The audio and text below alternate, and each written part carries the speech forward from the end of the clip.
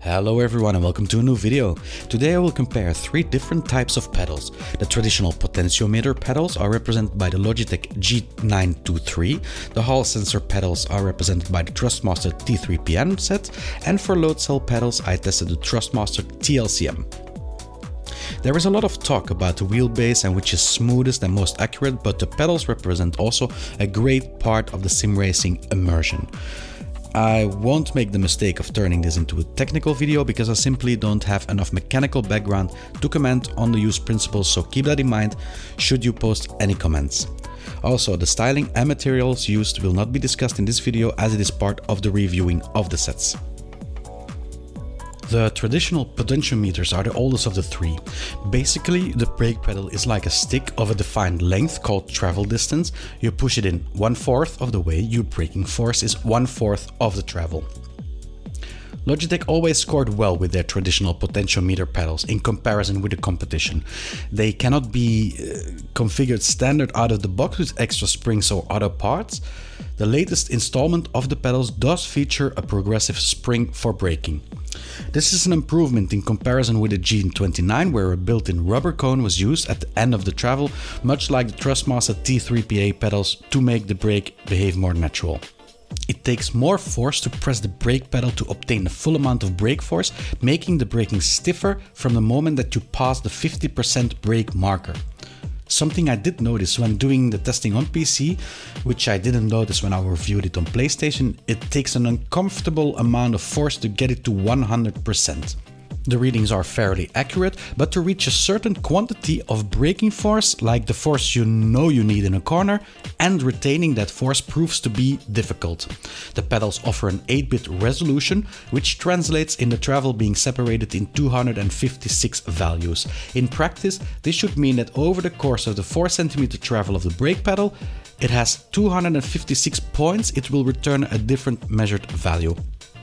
The downside of traditional potentiometers is that they can get dirty or worn out and need to be cleaned and maintained more often than the second types of brake I will discuss.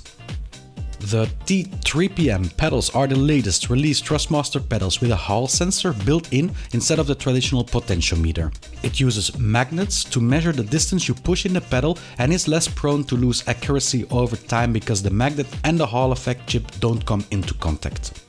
The 12-bit resolution offers 4096 steps over the travel of 4 cm it has.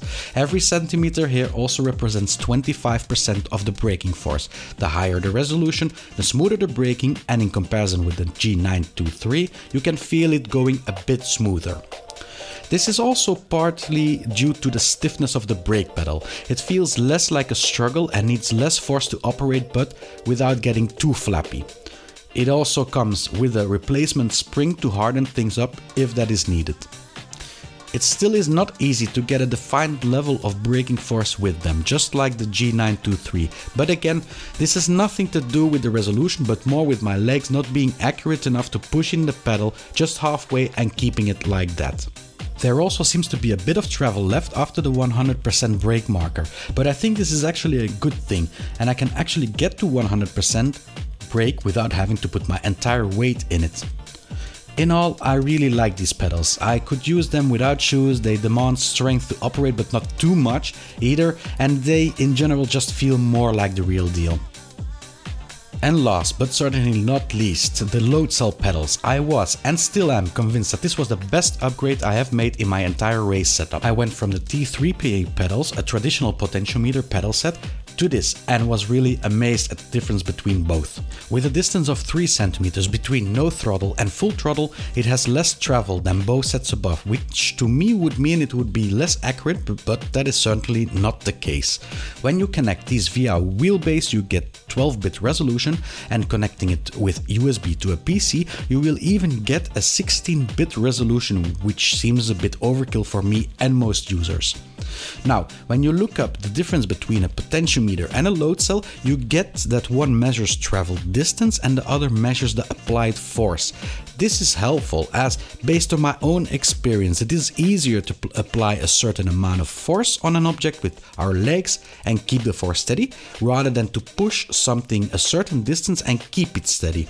Again, this is due to the fact that our legs are not the most refined tools we have on our body to measure. The load cell technology delivers a more precise reading of the power you want to apply, making it more easy to correctly assess and apply the brake power for turns. Apart from the load cell technology for the brake, the accelerator and clutch pedal have also been upgraded with Hall sensors. But that is not the only thing that has been improved on these pedals. As said before, you have a travel of 3 cm and different here is that you get from 0% to 25% in 1.5 cm and from 25% to 100% in 1.5 cm. The TLCM comes with a bunch of extra springs to regulate the feel of the brake and you can change the travel behavior to make it more stiff so that it is more evenly matched.